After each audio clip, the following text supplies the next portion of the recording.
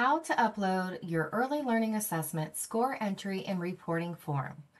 On the ELA score entry and reporting site, scroll down to the bottom of the page and fill in the required information that is under ELA score entry and reporting file upload.